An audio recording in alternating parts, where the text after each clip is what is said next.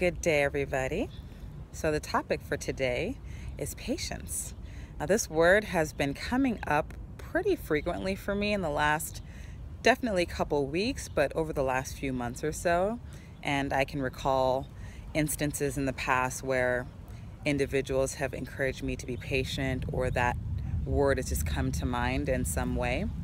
And just encouraging you to do the same. Consider those things that you are interested in having and building, places you're interested in being that are not currently where you're at right now, and just really having patience regarding those things and doing what you need to do, taking the steps you need to take to build to that place so that when you get there, you're fully ready for it, you're fully open to it, and can appreciate it.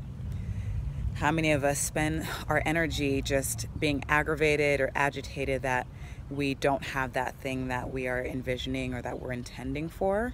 And again, it just it's a, it's an energy leak, really. And if you can really take whatever steps you need to take, do whatever exercises or rituals that can really instill that idea of patience, I think that would be pretty beneficial. I actually had been asked to prepare a dish for an event that I'm going to uh, in the next day or so.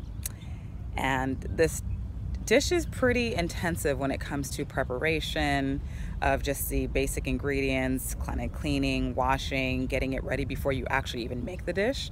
And I initially hesitated to accept, but then I thought about it and realized, no, I really want to make this dish, even though I had kind of a short window of time in order to do so.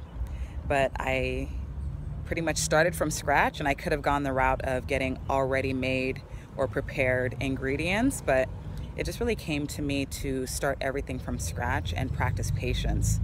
I mean, I may look a little cracked out right now because I stayed up pretty late preparing everything, but I put on some music, I sat in a comfortable place, and I made it more of a meditation and ritual, and it was a really great practice in patience. It took several hours, and there were times when I just thought, you know what, let me take a shortcut or let me just finish halfway through and just be done with it. But in my mind, I kept thinking, no, you decided to take this on for a specific reason. So be patient, see it through. Yes, you may be tired the next day, but the end result is going to be something really beautiful because you put all of your energy into it.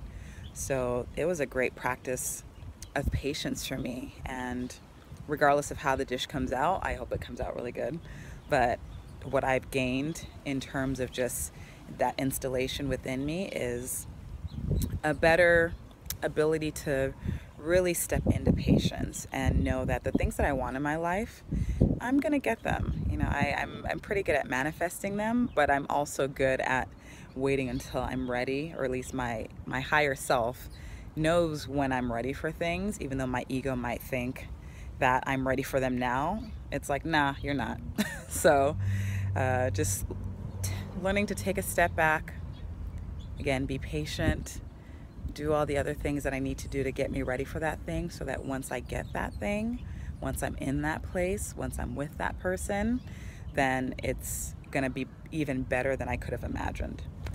So, once again, I encourage you to have patience and consider those things that really require your patience in order for you to be fully present and work your way towards really being ready for those things. Take care, enjoy the rest of your day, and we'll see you later.